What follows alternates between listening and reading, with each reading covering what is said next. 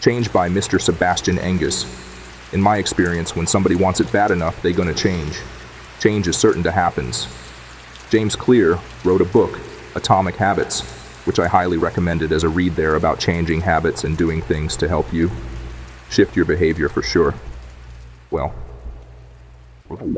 Droplet. and but my experience has been when the human decides they really want to change, they will change. All they need is an effective catalyst, something that causes a change, right? So things you can do. Um, if you procrastinate a lot, literally that could be a trauma response. You may want to go to the therapy, and now that sounds really crazy, just talk about procrastination, but I think therapy is fantastic for this. And in a therapeutic masterpiece, I think most major weight, intentionally located by the author in the ones that are the smallest elements of the entire picture. What ultimately makes a great work is the sum total of the tiniest details. From start to finish, everything has shades and degrees. Like, there's no fixed scale in this day and era. There cannot be, because sometimes the little infinitesimal entities are the ones that weight the most. You know, um, I think most people will do much better if they have a 24 7 therapist on call. Just somewhere where you can process and figure out where's all that heavy stuff are coming from. Because a lot of it started before the age of seven. And um, we have all this unconscious programming comes in from this stage of age.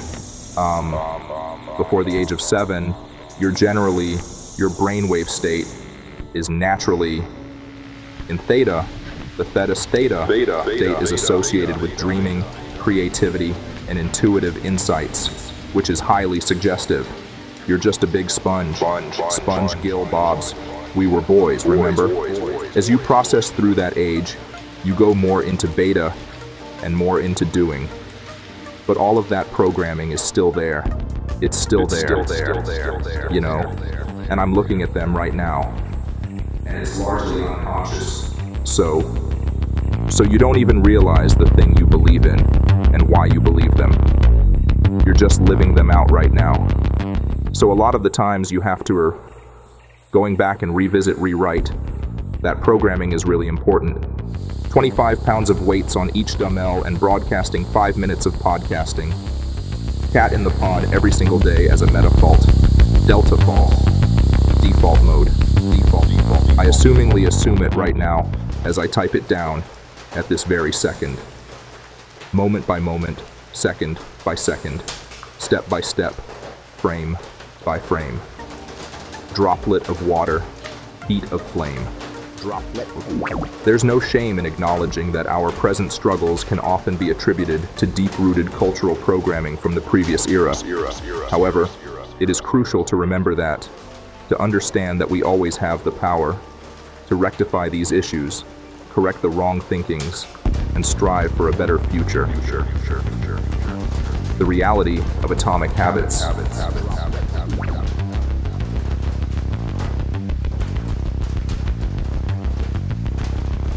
You ever give up on someone, Mr. Sinek? Accountability by Mr. Simon Sinek.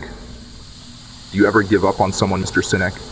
It's not about giving up on people, it's about accountability, to take responsibility for oneself. I cannot help you if you cannot be involved to help yourself. I will say to them point blank, blank listen, if you're not going to be involved in this, then there's no point for me to be involved. This is a team, and I'm the only player here. I will always be here. And when you're ready, maybe it's just a bad timing. I don't know what is going on in your life, and maybe this is not a right time. Or maybe I'm a bad fit, but when you are ready, I will still be here, no matter what. You must be the one to make the call. It's essential. I am not going to pass you the ball if I have no one there to catch it. Catch it. If they can't help themselves, then you can't help them. It's going to be a waste of time and throwaway resource for both sides. Words captured from Mr. Simon Sinek recent interview about accountability. Taking responsibility for one's maturity is crucial in order to better fueling the flame of your strength. It is vital for individuals to recognize their immediate inaction and bad choices directly impact their future's personal growth and development. Dating advice coach Matthew Hussey reveals the reason why a lot of relationships fail. The main reason lead to failure of numerous relationships is you forget to assume accountability for meeting the genuine desires of one's partner rather than merely addressing their truly perceived needs. This principle applies to both parties involved. In simple word, it is about taking responsibility on giving what your significant other what they truly want, not the thing you thought they would want. And it's go both way as well. Well, well, well, as I said, our job is not to worry about what anyone else is doing. Our job is to wake up into this life today and figure out, figure out, out, out, out, out how to live the best life we can with the resources that were given to both of parties. Instagram account the Matthew Hussey asking, What is your personal best today? What can you do right now to create the best possible day with the resources you have? Tell me in the comments below. Below are the two highlight comments. First one from Luis Nerealias Guicho. He said, I was just thinking about what my ex-girlfriend did last night because I saw her get home with another guy shortly after our breakup. By the way, we live nearby. No stalking here, just orb server. And I felt lost in 2004. Season 1, you know. This helped to redirect my thoughts. No lie, just lying on my corner of my bed, listening to Devils May Cry, and it's freaking hard, but I am just doing my best to forget her fast. Just like that. Reply from user who used the cookie's name, Sharf Cook, who is a good cook. They called her Cookies, Cooker.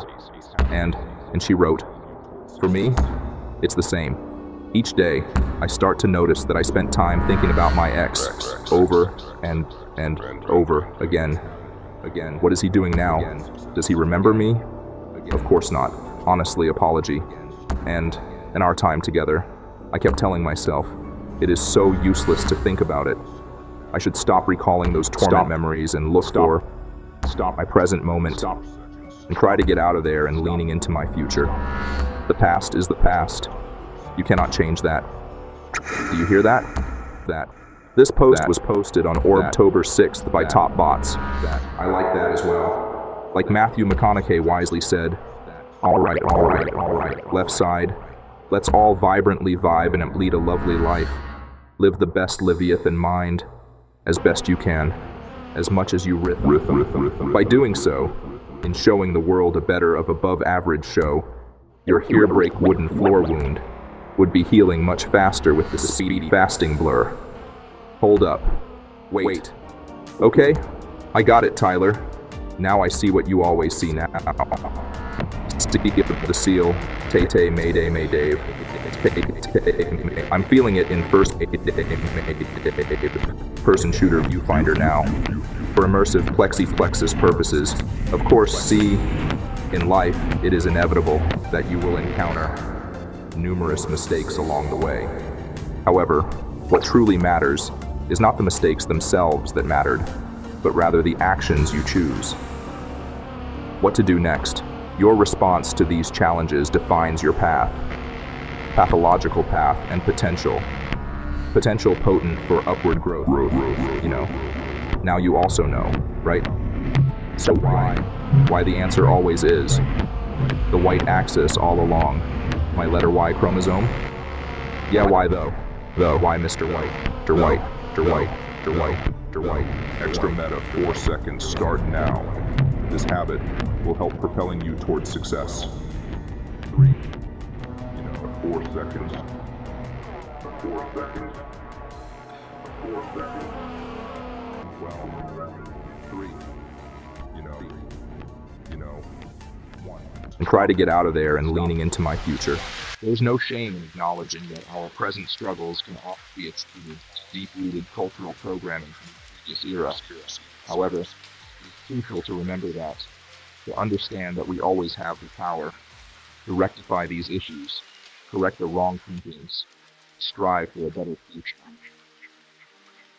The reality atomic habits